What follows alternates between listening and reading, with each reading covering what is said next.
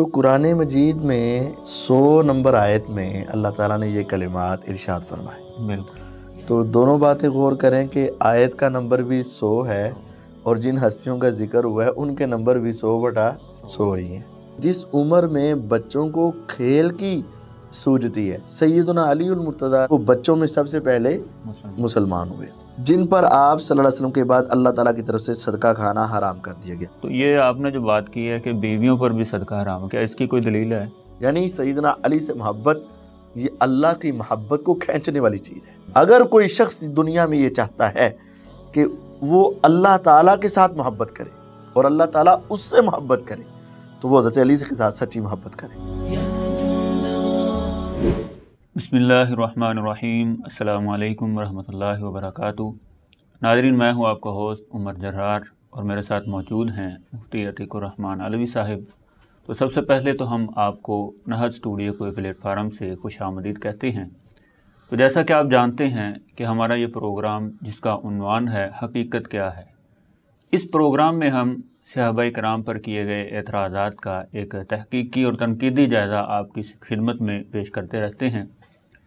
तो गुज्त एपिसोड में हम आपके सामने एक नई सीरीज़ लेकर आए थे कि जिसमें हम अहल बैत के फ़जाइल मनाकब आपके सामने पेश करेंगे और इसी तरह उन अजीम हस्तियों पर जो एतराज़ात उठाए जाते हैं और जो उनके बारे में शुबहत पैदा किए जाते हैं, उनका एक तहकीकी और तनकीदी जायज़ा हम आपकी खिदमत में पेश करना चाह रहे थे। तो गुज्त एपिसोड में हमने अहल बैत के अमूमी फ़जाइल जो कुरान हदीस में बयान हुए हैं, वो आपके सामने पेश किए थे। तो आज की इस एपिसोड में हम आपके सामने खलीफा राशिद अमीरमिन सैदना अलीमरतज़ा रज़ी अल्लाह तह के कुछ खसूस फ़ज़ाइल आपकी खिदमत में पेश करेंगे। और फिर इसी तरह इंजीनियर मोहम्मद अली मिर्ज़ा ने अपने रिसर्च पेपर फाइव बी के अंदर जो उनवान कायम किया है फ़ज़ाइल अलीमरतज़ा रज़ी अल्लाह तु के हवाले से, उसमें जो उसने के कराम के ख़िलाफ़ उकसाने की एक कोशिश की है और अजीब व गरीब किस्म के शुबहत पैदा करने की कोशिश की है सहाबा कराम के मुतालिक।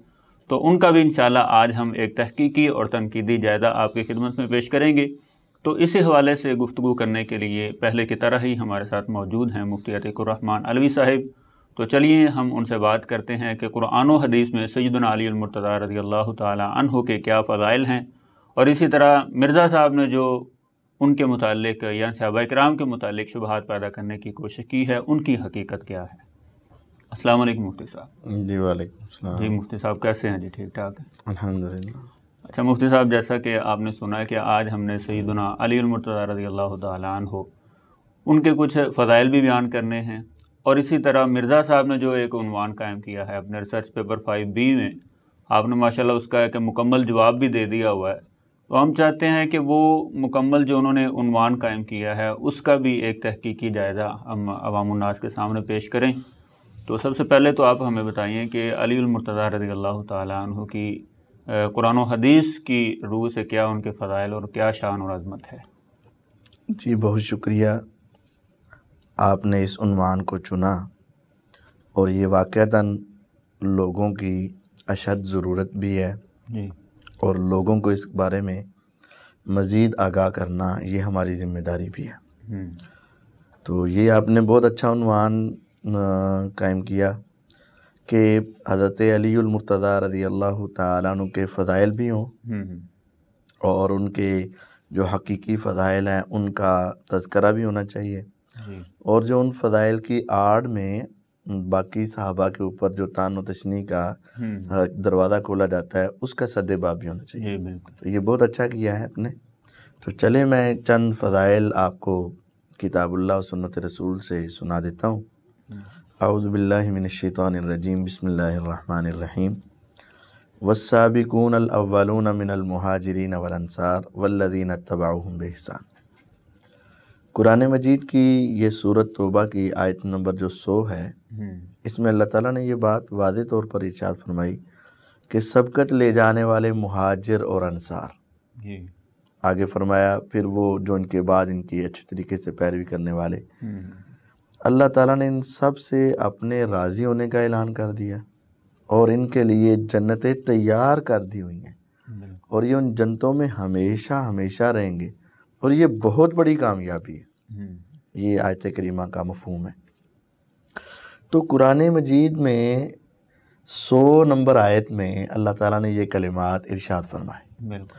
तो दोनों बातें गौर करें कि आयत का नंबर भी सौ है और जिन हस्तियों का ज़िक्र हुआ है उनके नंबर भी सौ बटा सौ। ही हैं। ये अल्लाह ताला ने हस्तियाँ रखी हैं और सबकत ले जाने वालों में सैदना अलीमरतदा रज़ी अल्लाह बच्चों में सबसे सबकत ले गए हम्म, और सबसे पहले मुसलमान हुए बचपन में। बिल्कुल। तमाम बच्चों से पहले मुसलमान हुए। हाँ बड़ों में अब अबू बकर सिद्दीक रज़ी अल्लाह औरतों में सैदा खदीजा रज़ी अल्लाह लेकिन बच्चों में सबसे पहले कौन मुसलमान हुए? सैदना अलीमरतदा रज़ी अल्लाह तो कुरान मजीद में सहाबा के जितने फ़दाइल हैं ना हम्म, हम्म, उन सब फ़दाइल के जो मिसदा के अव्वलीन हैं वो खुलाफाए अरबा हैं। और उनके बाद बाकी तमाम साहबा भी उसमें शामिल हैं। हम्म, हम्म, लेकिन अलीमरतदा रदी अल्लाह उन तमाम फ़दाइल के अंदर शामिल हैं जो कुरान मजीद ने सहाबा के फ़दाइल बयान किए। सबकून अल-अव्वलून भी है और उलाय का हिजबुल्ला उलाय का हमुलमिन हक्का उलाय का हमुलमुफलिहून है जहाँ जहाँ रज़ी अल्लाह ताला रज़ी अल्लाह ताला ने बोला है और इसी तरह अल्लाह ताला ने कुरान मजीद में जो सिफ़ात बयान की है ना मोहम्मद रसूलुल्लाह सल्लल्लाहु अलैहि वल्लदीन माहु अशिद्दाउ अलल कुफ़ार रुहमाउ बैनहुम तो ये तमाम सिफ़ात उनके अंदर बदरजा अतम मौजूद हैं। तो कुरान और अहादीस में सहाबा के जितने उमूमी फ़दाइल हैं उन तमाम फ़दाइल में अलीमरतदा रज़ी अल्लाह अन्हो उसमें खसूसी तौर पर शरीक हैं। अब ये जो उनवान आपने कहा कि साथ मिर्ज़ा साहब को भी मिलाकर चलाया जाए तो ये बहुत अच्छी बात है। तो हम मिर्ज़ा साहब की बयान करदा ही अहादीस को हम पढ़ते भी हैं अवामुन्नास को सुनाते भी हैं और उसके साथ साथ हल्का हल्का अपना तबसरा भी साथ साथ करते जाते हैं। तो ये मिर्ज़ा साहब ने अपने रिसर्च पेपर फाइव बी के अंदर चौथा उन्वान कायम किया यानी D A B C D कि चौथे खलीफा राशिद सैदना अली रज़ी अल्लाह अन्हु के फ़दाइल का बयान। और आगे एक झूठ भी लिखा हुआ है और उन पर मिंबरों से लानत करने की बिदत कब और किसने ईजाद की? ये दोनों ही झूठ है आगे। ये कब और किसने ईजाद की? ये तो वैसे झूठ है। बहरहाल हम फ़दाइल की बात फिल वक़्त करते हैं। तो मिर्ज़ा साहब ने यह हदीस बयान की है सैदना अबू हमज़ा अंसारी ताबी रहीमहुल्लाह बयान करते हैं कि मैंने सैदना जैद बिन अरकम रज़ी को सुना वो फरमाया करते हैं कि पहला शख्स जो इस्लाम लाया वो सैदना अली बिन अबी तालिब रज़ी थे। तो ये पिछले पुराने पम्फलेट में भी मिर्ज़ा साहब ने इसकी वजाहत की हुई थी और हमने भी इसका एक अलग उनवान भी कायम किया हुआ है अपना क्लिप बनाया हुआ है कि सबसे पहले मुसलमान कौन हुआ? बहरहाल ये जाम तिरमिदी में सुनन नसाई कुबरा में जो रिवायात है इनसे ये बात साबित होती है कि बचपन में बच्चों में सबसे पहले इस्लाम लाने वाले कौन हैं? अली सैदना अलीमरतदा रज़ी अल्लाह है। तो ये बात हकीकत है और ये उनकी बहुत बड़ी फजीलत है कि जिस उम्र में बच्चों को खेल की सूझती है हम्म, हम्म, और उनको दीन की तरफ़ बड़ी मुश्किल से लाना पड़ता है। सैदना अलीमरतदा रज़ी की अल्हम्दुलिल्लाह अल्लाह ताला ने रहनुमाई ऐसे की पैगंबर इस्लाम ने परवरिश ऐसे की कि वो बच्चों में सबसे पहले मुसलमान। मुसलमान हुए। ये तो ये जो आप बात कर रहे हैं बच्चों वाली कि वो बच्चों में यानी मुसलमान हुए थे। तो ये तो एक कौल है ना इमाम इब्राहिम नकी रही का। तो उनके कौल को कैसे हम तरजीह दे सकते हैं? ये कौल तो है ही है लेकिन इसके साथ साथ बाकी तफासिल और अहादीस भी मौजूद हैं। अबू बकर सिद्दीक रज़ी के हवाले से मैंने उस अपने क्लिप में पूरी वजाहत की हुई है। सैदना अबू बकर सिद्दीक रज़ी अल्लाह फरमाते हैं आलस्तु अव्वला मन असलमा। क्या मैं सबसे पहला मुसलमान नहीं हूँ? हम्म, तो क्या वो झूठ बोल रहे हैं? नौज़बिल्ला नबी सल्लल्लाहु अलैहि वसल्लम के पास कहा गया कि अबू बकर सबसे पहले मुसलमान है वो आप खामोश रहे क्या आपको पता नहीं चला?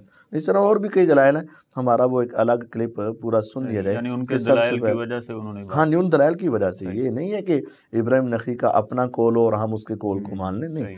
वो कौल किसी दलील की बुनियाद पर है। है। और ये मैंने आपको भी बताया है कि मिर्ज़ा साहब ने अपने पुराने पम्फलेट में पहले इसके अंदर ब्रैकेट लगा के लिखा हुआ था कि बचपन में सबसे पहले इस्लाम लाने वाले कौन है?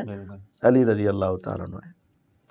तो बहरहाल हज़रत अली रज़ी की पहली फजीलत तो ये भी है कि वो बचपन में जो लोग बच्चों की खेलने की उम्रें होती हैं और उनको दीन की तरफ़ ज़्यादा कोई दिली लगाव नहीं होता है उस मौके पर भी सबसे पहले इस्लाम लाने वाले कौन थे? अली रज़ी अल्लाह तआला दूसरा आगे मुसदर के हाकिम के हवाले से उन्होंने लिखा हुआ है कि इमाम अहमद बिन अम्बर रही फरमाते हैं कि रसूल वसल्लम के तमाम सहाबा कराम रज़ी अल्लाह में से किसी भी और शख्सियत के लिए इतने ज़्यादा फ़दाइल नहीं आए जितने हज़रत अली रजन को आए। तो पहली बात यह कि इमाम अहमद बिन अम्बर रही की ये अपनी तहकीक है तो ठीक है। एक आदमी की ये तहकीक है तो वो कोई बात नहीं। दूसरे जगह पर दूसरे उलमा भी कहते हैं कि बाकी सबके फ़दाइल भी हैं। बहरहाल एक बात मैं आपको यहाँ ये समझा दूँ कि हज़रत अली रज़ी अल्लाह तन के फ़दाइल तो सबसे ज़्यादा भी अगर मान लिए जाए। हम्म। लेकिन उन फ़दाइल की क्वालिटी और उनके दर्जाबंदी क्या है? हज़रत अबू बकर रज़ी अल्लाह तहों को इसकी वजह से इस कोल की वजह से नीचे नहीं किया जा सकता। मिसाल के तौर पर आप इसको दुनियादारी के अतबार से एक मिसाल के साथ समझा देता हूँ कि एक शख्स पाँच सवाल करके आता है और उसको पाँचों सवालों में से आठ आठ नंबर मिलते हैं। तो ये चालीस नंबर बन गए। और एक शख्स ऐसा है कि जिसने सवाल तो चार किए हैं। हम्म। सवाल तो उसने चार, चार हाल किए हैं लेकिन उसमें से उसको बीस बीस नंबर मिल गए। तो अब उसके सवाल कम है नंबर उसके ज़्यादा। है। इसके सवाल ज़्यादा है और नंबर इसके कम है। अबू बकर सिद्दीक रज़ी अल्लाह तहो दर्जे के अतबार से अलीमरतदा रज़ी से आला और अफजल है। तो इनके फ़दाइल में दो सही अगर हों तीन सही हों लेकिन दर्जात में बुलंद हो जाएँ तो वो अहादीस में वारद होना एक अलग बात है और उनके दर्जाबंदी होना एक अलग, अलग बात है। इस बात को समझ लिया जाए। और बाकी अहादीस का रवायत करना तो ये तो इमाम इबन कसीम रहीमल्ला ने अलमनारमुनीफ में लिखा हुआ है कि हज़रत अली रज़ी अल्लाह तु और हज़रत मुआविया रज़ी अल्लाह के हवाले से कि इनके हवाले से तो लाखों हदीसें गढ़ी भी गई हैं। हम्म, इनके फ़दाइल में लाखों हदीसें दोनों के फ़दाइल में गढ़ी। भी गई हैं और कई लाख अहादीस आपस में बनाई। बहरहाल आज हम आपको उनके मोहम्मद बिन हम्बल जो हैं वो उन्होंने सही या ज़यीफ़ की बात नहीं की। उन्होंने सिर्फ़ फ़दाइल की बात सही ज़यीफ़ की बात भी नहीं की। हाँ और ये भी नहीं कहा कि ये फ़दाइल ज़्यादा हैं। बहरहाल उनकी फजीलत हज़रत अली रजिन की बहुत ज़्यादा है लेकिन इससे दूसरों को डिग्रेड करना ये मकसूद नहीं होना चाहिए। ये बहुत अजीम हदीस है और हज़रत अली रजीन के फजीलत में बहुत बड़ी रिवायत है। एक मिर्ज़ा साहब ने जो थर्टी थ्री हदीस नंबर के अंदर नकल की है वो बयान करते हैं कि अहल बैत हज़रत अली रज़ी अहल बैत है ना? और अहल बैत की फजीलत में वो पूरी रिवायत में आपको सुनाना चाहता हूँ। कि सैदना यजीद बिन हयान ताबी रहीमल्ला बयान करते हैं कि मैं हुसैन बिन सबुरा रज़ी अल्लाह रहीमल्ला हुसैन बिन सबुरा ताबी रहीमल्ला और उमर बिन मुस्लिम ताबी रहीमल्ला सैदना जैद बिन अरकम रज़ी से मिलने के यानी ये तीन ताबी हम्म। हज़रत जैद बिन अरकम रज़ी से मिलने के लिए गए जब हम उनके पास बैठे तो हुसैन ने उन्हें मुखातब करके अर्ज़ की ए जैद रज़ी अल्लाह आपने तो बहुत ज़्यादा खैर पाई है। रसूलुल्लाह वसल्लम की ज़्यारत है की है आपने, आप वसल्लम के फ़रामीन सुने हैं, आप वसल्लम के साथ गजबात जहाद में शिरकत की है और आपकी इब्तदा में नमाज़ें भी पढ़ी हैं। ए जैद, वाकई आपने बहुत भलाई हासिल की है। तो अब हमें वो अहादीस भी तो सुनाइए ना, जो आप रज़ी अल्लाह ने ख़ुद रसूलुल्लाह सल्लल्लाहु अलैहि वसल्लम से समात फरमाई थी। तो जैद बिन अरकम रज़ी ने फरमाया बेटा अल्लाह की कसम मेरी उम्र बहुत ज़्यादा हो चुकी है और काफ़ी अरसा बीत गया है और रसूलुल्लाह वसल्लम से सुनी हुई कुछ बातें तो मैं भूल चुका हूँ। लिहाजा जो बयान करूँ उसी पर इक्तफ़ा करना और जो ना बता सकूँ तो उसके लिए मुझे मजबूर ना करना। फिर सईदना जैद बिन अरकम रज़ी फरमाने लगे एक रोज़ रसूलुल्लाह वसल्लम मक्का और मदीना के दरमियान खुम नामी एक गाँव में पानी के तालाब के पास हजतुलवदा के मौका पर, से वापसी पर अठारह जुलज्जा दस हिजरी में अपनी वफात से तकरीबन दो माह कबल हमें खुतबा इरशाद फरमाने लगे। के लिए खड़े हुए, चुनाचे आप अलैहि वसल्लम ने अल्लाह ताला की हमदोसना और वाद नसीहत करने के बाद इरशाद फरमाया लोगो, मैं भी एक इंसान हूँ। करीब है कि जल्द ही मेरे रब का कासिद यानी मौत का फरिश्ता आए और मैं उसे लब्बैक कह दूँ यानी इस दुनिया से रुखसत हो जाऊँ। मैं अपने बाद तुम में दो गिरा कदर चीज़ें छोड़े जा रहा हूँ। उनमें से पहली तो अल्लाह ताला की किताब कुरान हकीम है जिसमें समान हिदायत और नूर है। लिहाजा तुम अल्लाह ताला की किताब को थाम लो और मजबूती से पकड़ लो। फिर आप सल्लल्लाहु अलैहि वसल्लम ने फरमाया अल्लाह ताला की किताब को थामने की खूब तरगीब दी। फिर फरमाया और दूसरी गिरा कदर चीज़ मेरे अहल बैत है। मैं तुम्हें अपने अहल बैत के मतलब अल्लाह का खौफ दिलाता हूँ। मैं तुम्हें अपने अहल बैत के मुतलक अल्लाह ताला का खौफ याद दिलाता हूँ। मैं तुम्हें अपने अहल बैत के मतलब अल्लाह ताला का खौफ याद दिलाता हूँ। यानी मेरे बाद उनके साथ मेरी नस्बत की वजह से हुसन सलूक करना। तो ये हदीस थी कि आपने उज़क्की रुकुमुल्लाह फ़ी अहली बैती। मैं जी तुम्हें अल्लाह ताला की याद दिलाता हूँ अपने अहल बैत के बारे में। तो अहल बैत में हज़रत अली रज़ी अल्लाह क्या है? शामिल। है। यहाँ से हज़रत अली रज़ी अल्लाह सईदा फ़ातिमतुज़हरा रज़ी अल्लाह हज़रत हसन रज़ी अल्लाह हज़रत हुसैन रज़ी अल्लाह हज़रत अकील जाफ़र और अजवाज मुतहरात तमाम की फजीलत साबित। होती है जिनकी नस्बत नबी सल्लल्लाहु अलैहि वसल्लम के साथ हम्म, अच्छा आगे मिर्ज़ा साहब अब इसकी मज़ीद तफसील लिखते हैं और उसमें एक छोटी छोटी सी गलती भी कर जाते हैं। हुसैन ताबी रहमल्ला ने सैदना जैद बिन अरकम रज़ी से अर्ज़ की कि आप वसल्लम के अहले बैत कौन है? पूछा। क्या आपकी बीवियाँ आपके अहले बैत में शामिल नहीं? ये सवाल मिर्ज़ा साहब ने ऐसे लिखा है। उन्होंने ये सवाल किया था कि अजवाजहू मेरा अहली बैत थी आपकी बीवियाँ अहले बैत में शामिल नहीं है? तो सईदना जैद बिन अरकम रज़ी ने फरमाया आपकी बीवियाँ भी आपके अहल बैत में शामिल शामिल है। आपकी बीवियाँ भी ये बीवी का लफ्ज़ मिर्ज़ा साहब ने लगाया। असल में उनका सवाल ये था कि अहल बैत से मुराद तो आपकी बीवियाँ हैं। हम्म, असल गौर किया जाए कि दुनियादारी के अतबार से घर वाले किसको कहा जाता है? बीवी बच्चों को कहा जाता है। आम मिसाल के तौर पर मैं आपको पूछता हूँ आपके अहल बैत कौन है? अहल बैत घर वाले। तो सोच फ़कत आपके बीवी बच्चों के ऊपर जाएगी। आपके चचा उनके बेटे उनकी तरफ़ जल्दी सोच है। नहीं नहीं। तो उन्होंने भी यही सोचा कि शायद सिर्फ़ आपकी बीवियाँ आपके क्या होंगी? बैत उनका ये सवाल था कि फिर जो ये आप तो इस हदीस को हज़रत अली रज़ी के फदाल में बयान कर रहे हो। हम्म, जबकि सोच में तो ये आता है कि अहले बैत तो फिर कौन हुई? आपकी बीवियाँ। तो उन्होंने जवाब दिया कि सिर्फ़ अहले बैत में बीवियाँ नहीं है। बीवियाँ भी अहले बैत है। सही। सवाल समझ आया? जी जी। कि सवाल ये था कि फ़ौरन जहन में आता था कि अहले बैत सिर्फ़ बीवियाँ होंगी शायद। हम्म, तो इन्होंने सिर्फ़ बीवियाँ नहीं है बीवियाँ भी। हैं। तो क्या आपकी बीवियाँ आपके अहले बैत में नहीं है? सईदना जैद बिन अरकम ने फरमाया आपकी बीवियाँ भी आपके अहले बैत में से हैं लेकिन उस हदीस में आपके अहले बैत से मुराद सिर्फ़ वो हैं। ये जो है ना ये जुमला इसमें मिर्ज़ा साहब से एक गलती हो गई है। एक नहीं बल्कि दो गलती हुई। लेकिन उस हदीस में यानी फजीलत वाली हदीस में ठीक है। इससे मुराद सिर्फ़ वो हैं। ये जो हम्म। सिर्फ़ वाली ब्रैकेट लगा दी है और उस हदीस में मुराद सिर्फ़ वो है ये जुमला मिर्ज़ा साहब ने एक गलती की है। जिन पर आप सल्लल्लाहु अलैहि वसल्लम के बाद अल्लाह ताला की तरफ़ से सदका खाना हराम कर दिया गया। होना ये चाहिए था कि आपके अहले बैत में वो भी हैं जिन पर सदका हराम बीवियाँ भी हैं और वो भी हैं जिन पर सदका हराम है। अब बीवियों पर भी सदका हराम है और कुछ और अफराद पर भी सदका हराम है। हाँ। तो वो सब ही अहल बैत में शामिल हैं।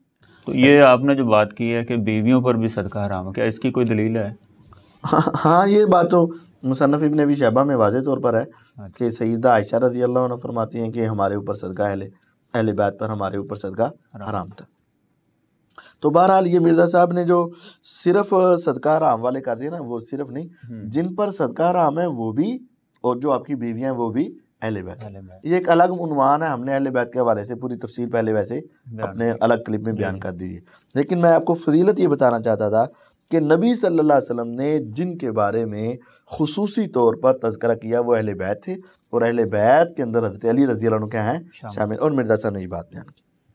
अच्छा इसके बाद फिर वो अहले बैत वाली ही रिवायत मिर्ज़ा साहब ने बयान की। तो मैं इसके ऊपर पूरी तफसील नहीं बताना चाहता क्योंकि वो हमारा अलग क्लिप मौजूद है। इससे आगे सुनन नसाई अल कुबरा की हदीस है जो हज़रत अली रज़ी अल्लाह तआला के फ़दाइल में एक बड़ी शानदार रिवायत है। हम्म, हम्म, गदीर कौमी वाली हदीस ही है। जी जी।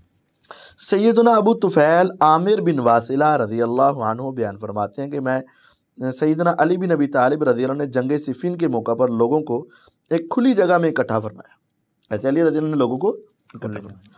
फिर उनसे फरमाया मैं अल्लाह ताला का वास्ता देकर हर उस शख्स से पूछता हूँ जिसने गदीर खुम में रसूल वसल्लम को ये फरमाते सुना था उस मौका पर कई साहबा कराम रज़ी अल्लाह उठ खड़े हुए। जिन्होंने गवाही दी कि रसूलुल्लाह सल्लल्लाहु अलैहि वसल्लम ने गदीर खुम के दिन फरमाया था कि तुम जानते हो कि मैं मोमिनों पर उनकी ज़ात से बढ़कर हक रखता हूँ। तो ये तो बात कुरान में जी में भी नहीं। हम्म, अनबी औला बिल मोमिनीना मिन अनफुसिहिम। और आगे भी लफ्ज़ है वाजवाजुहु उम्महात, उम्महातुहुम कि नबी जो हैं वो मोमिनों पर उनकी जानों से ज़्यादा कदार है। और नबी अलैहिस्सलाम की बीवियाँ फिर मोमिनों की क्या हैं? माएँ। तो ये फरमाते हुए आप सल्लल्लाहु अलैहि वसल्लम आप सल्लल्लाहु अलैहि वसल्लम सैदना अली बिन अबी तालिब रजन का हाथ थामे खड़े थे। फिर रसूलुल्लाह सल्लल्लाहु अलैहि वसल्लम ने इरशाद फरमाया, जिसका मौला, मैं हूँ, उसका मौला अली भी है। मौला का माना ये मिर्ज़ा ने खुद लिखा हुआ है, दिली महबूब। अच्छी बात है। ए अल्लाह ताला, जो सैदना अली रज़ी से मोहब्बत रखे, तू भी उससे मोहब्बत फरमा। और जो भी इस सैदना अली से दुश्मनी रखे, तू भी उससे दुश्मनी कर। अल्लाह कितनी अजीम रिवायत है। अल्लाह वालिमन वाला व आदिमन आदा। हम्म, अल्लाह जो अली रज़ी से मोहब्बत रखे तो उससे मोहब्बत रख। यानी सईदना अली से मोहब्बत ये अल्लाह की मोहब्बत को खींचने वाली चीज़ है। अल्लाह की मोहब्बत का तकादा करने वाली चीज़ है। हम्म, अगर कोई शख्स दुनिया में ये चाहता है कि वो अल्लाह ताला के साथ मोहब्बत करे और अल्लाह ताला उससे मोहब्बत करे तो वो हज़रत अली के साथ सच्ची मोहब्बत करे। और जो हज़रत अली रजील के साथ दुश्मनी रखेगा वो असल में अल्लाह ताला की दुश्मनी को दावत दे रहा है। हम्म, और आपकी ये दुआ और बददुआ दोनों ही है कि जो हज़रत अली से मोहब्बत रखे अल्लाह तो उनके साथ मोहब्बत और जो उनसे दुश्मनी रखे अल्लाह तो उनके साथ। तो और ये बात मैं वाजे कर देना चाहता हूँ बाद लोग इस रिवायत को गलत मफहूम में पेश कर सकते हैं। लो जी फिर देखो ना बात तो वाजी हो गई ना।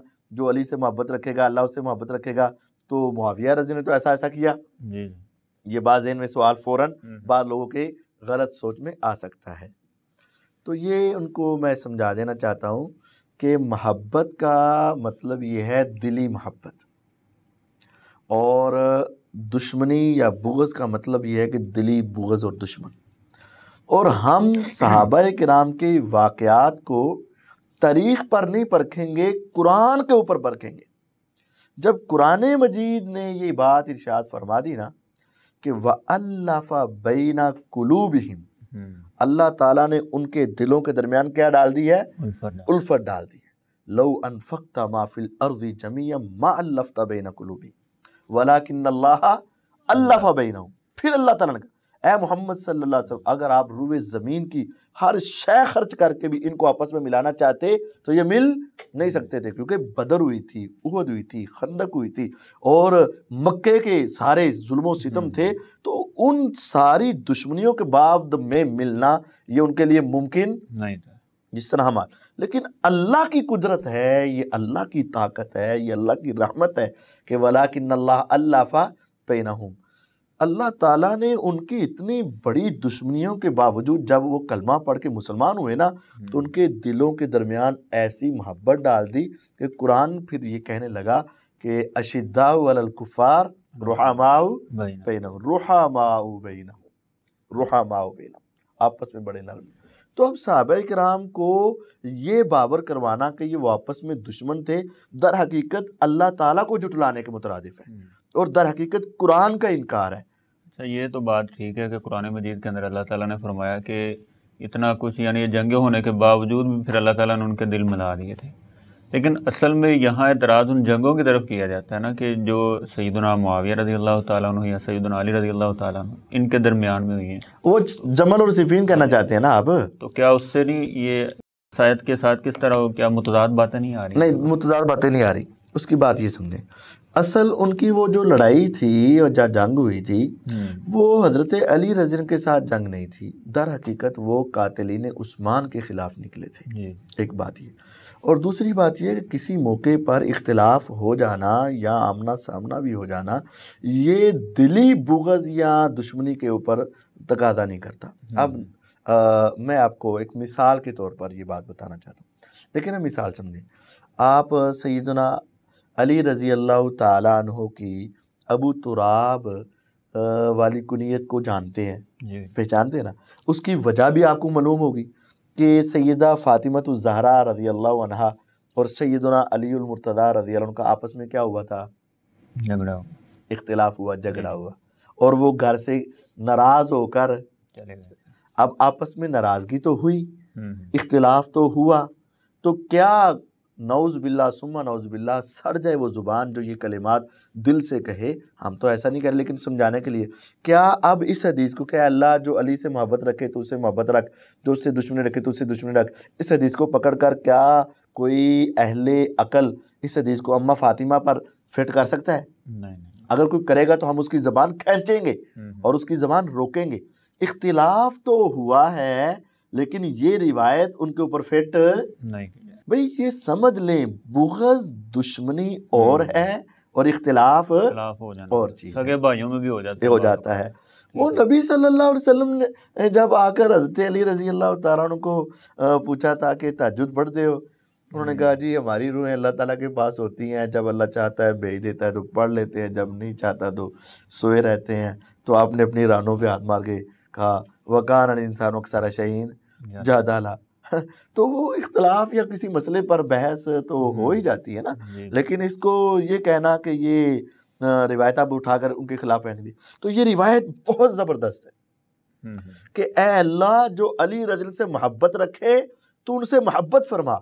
और जो उनसे दुश्मनी रखे तो उनसे दुश्मनी दुश्मनी फरमा। और अल्हम्दुलिल्लाह तमाम अहले हदीस अहले सुन्नत के दिल में हज़रत अली रज़न की मोहब्बत है और तमाम सहाबा के दिलों में सैदना अली रज़न की मोहब्बत थी। अल्हम्दुलिल्लाह। कोई एक सहाबी भी सैदना अली रज़न के साथ दुश्मनी रखने वाला नहीं नहीं था। इख्तिलाफ ज़रूर हो चुका था लेकिन इख्तिलाफ का माना दुश्मनी नहीं होता। और तारीख में तो यहाँ तक भी बात तो है ना कि जब रूम के गुंडों ने फिर ये सोचा और देखा कि अली और मुआविया इनका आपस में क्या हुआ है? इख्तलाफ।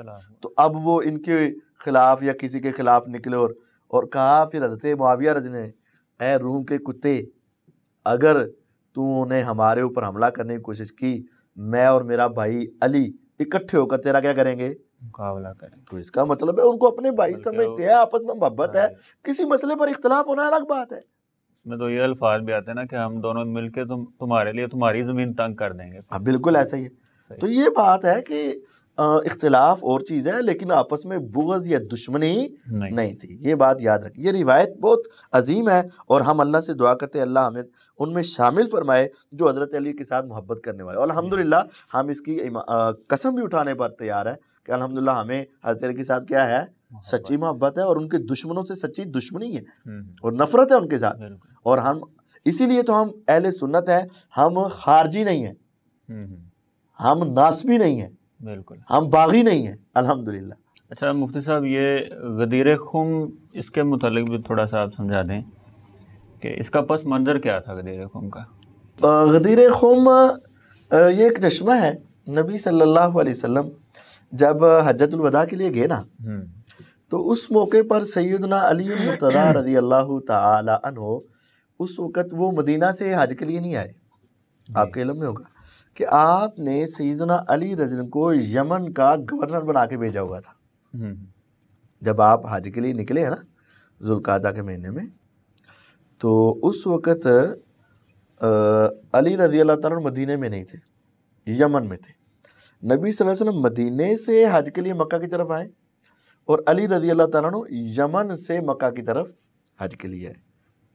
और इसमें एक बड़ी बात है अली रज़ी की नबी अलैहि सल्लम से मोहब्बत भी इसमें उनकी फजीलत में ये बात भी है कि जब वो मक्का में पहुँचे ना अब सहाबा की मुख्तलिफ़ कैफियत थी बाद ने सिर्फ़ उम्र का पढ़ा और बाद ने सिर्फ़ हज का पढ़ा। अब अली रज़ी अल्लाह तआला चूँकि नबी वसल्लम के पास नहीं थे अब उन्होंने क्या पढ़ा होगा? कुर्बान जो अली मुर्तज़ा रज़ी पर उन्होंने कहा है अल्लाह मेरा वही तलबिया है जो पैगंबर इस्लाम का है। हम्म, कितनी मोहब्बत है। उन्होंने कहा अहलल तो बिमा अहल्ला बिही नबी वसल्लम। मेरा वही तलबिया है जो नबी इस्लाम का यानी उनकी दूर जाने के बावजूद भी मोहब्बत प्यार एहतराम सुन्नत अकीदत अपने इंतहा दर्जे की थी। नबी अलैहिस्सलाम से बड़ा प्यार था। हम्म, तो फिर उधर से ना कुछ लोगों ने जो तफसीर में लिखा हुआ है तारीख में भी लिखा हुआ है। कुछ लोगों ने हज के बाद सैदना अली रज़ी के हवाले से कुछ गलत फहमियों की बिना पर एक दो शिकायत की। हम्म, उस वक़्त नबी सल्लल्लाहु अलैहि वसल्लम समझ गए कि अली रज़ी गलती पर नहीं है। ये उनको गलत फहमियाँ हुई हैं और वो गलती पर है। उस वक़्त आपने फिर ना ये जहाँ किसी ने कोई मसला बताया उसी वक़्त आपने। अगर ये कोई इमामत वगैरह का मसला होता या कोई इस तरह की कोई शय होती ना तो फिर आपने वहाँ के बजाय हजतुल वदा के खुतबे में कहना था। बिल्कुल। ये बात भी याद रखें।